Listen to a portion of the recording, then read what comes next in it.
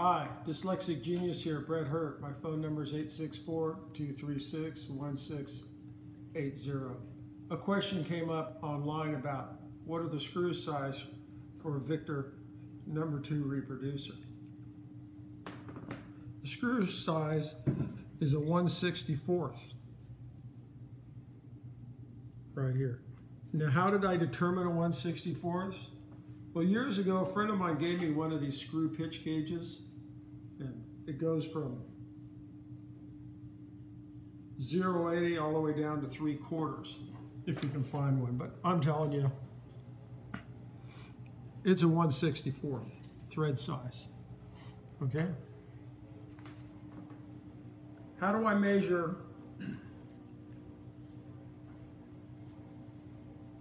that little screw right here? When I'm ordering a screw, how do I know what I'm buying? Well, how you measure a screw is this way. I'm using this great bolt that I, this great bolt that I pulled out of a Edison Opera. Don't believe me. You measure from here to here. So you put your ruler in here like that and that's your thread length. Okay? Because these are 100 year old screws and they don't manufacture them to standards, SAE standards anymore, these little screws are just over or just under 3 16 So 3 16 and a half. So you could get a quarter and you could shorten it down. Okay, sometimes you don't have to. So now what comes up is, years ago I made this thread thing out of brass. It's much faster for me than using this. When you take these apart, as I discussed on my diaphragms, cleaning the diaphragms, the copper diaphragms, crud gets down in these, these screw holes on these reproducers, okay? I blow them out with my air compressor, but if you have a can of compressed air with a little plastic nozzle, you can blow it out. If you're screwing the screw in, let's say into here, and it's not, it's getting tight, okay, it's like binding up, the threads are binding up, you have to stop, and you need to get two taps 164's taps. Well, this one has a point on it. It's normal. And this one doesn't. And this is called a bottoming tap. Because this screw in here is a bottoming screw. So you have to have a bottoming tap. If you blow it out, then by hand, you can run it in here. Or gently, you can use the tap handle like this. The tap handle, put this in here. and then you can gently you can gently tap this out. You'll need to do that. Sometimes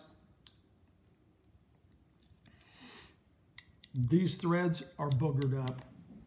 They don't want to screw in, so you use the pointed tap and you just put the point in there and clean the threads up. This is a lot of fun. These are just pointers. The last pointer is, this also is the same thread size a 164th. For the needle bar holder here to hold in the needles. That screw is the same size. Make sure that when you put them together, I'm going to reiterate that you should oil those. Oil the screw a little bit when you screw these in. This is a replacement screw.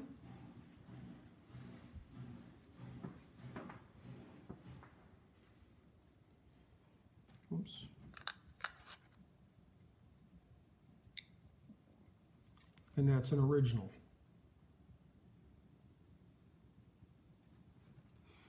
This is a lot of fun and uh, in the hobby.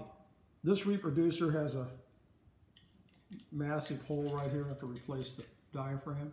I use a jeweler screwdriver that fits the screw slots very well. When you do the screw, you have a slot like this.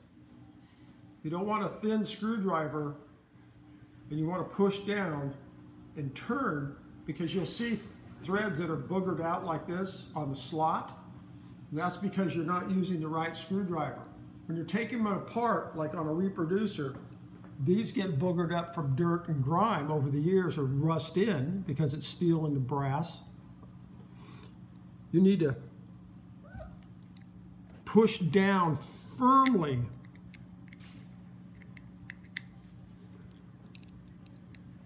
need to push down firmly and then turn the screw. Just don't put the screw in and go like that, or it's going to burger out the top of it and it's going to look very badly. You see this a lot on phonographs. Even at the factory, they did that. I always fix those on machines. You know, it's a lot of fun, and that's my tip for the day.